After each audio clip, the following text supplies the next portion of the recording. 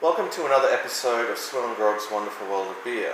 This time around, I'll be reviewing Carlsberg Export, 5% alcohol by volume, brewed and canned in the EU under the supervision of Carlsberg Breweries in Copenhagen, Denmark. What more can I tell you about Carlsberg Export? Well, uh, until uh, only recently, I'd never tried it.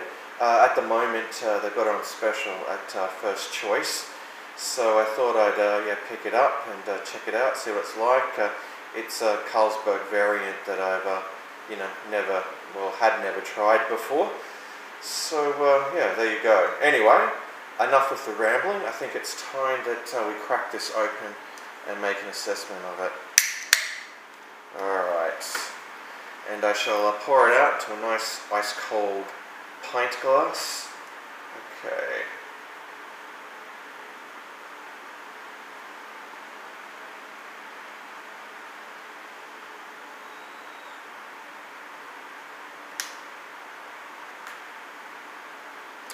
There we go, a nice pour there.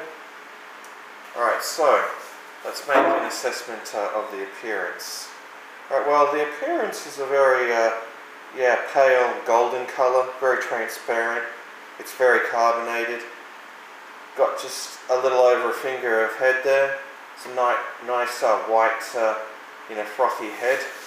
Let's uh, make an assessment uh, of the aroma. Hmm.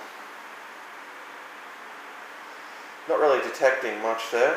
Um, you know, some grains, some hops, but yeah, the smell is very faint. Now, uh, onto the taste test, the most important part of the review. Cheers to you all.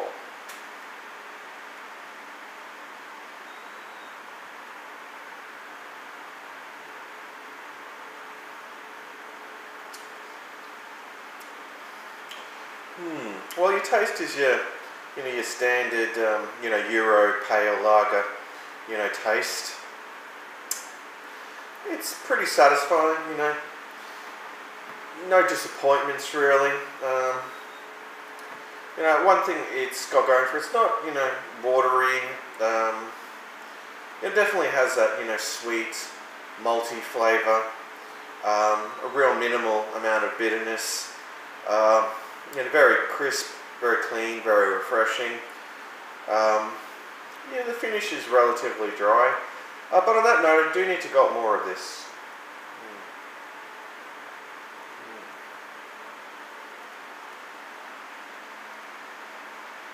Mm. Yeah, there's a little bit of citrus present there as well.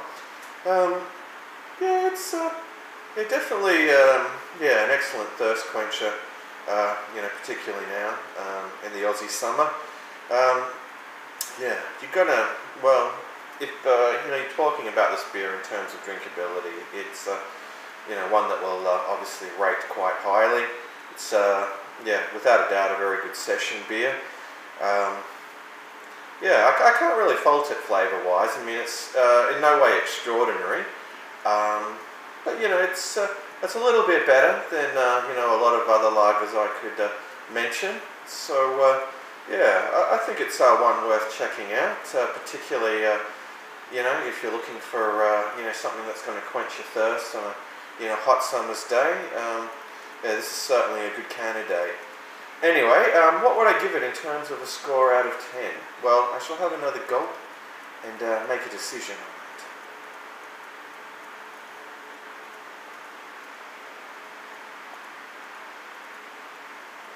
Hmm. Quite refreshing. Anyway, I think uh, it's a solid 8 out of 10 this beer. Yeah, I think that's a fair assessment. Anyway, that does bring us to the end of yet another SwillinGrog beer review. So, until next time, cheers to you all.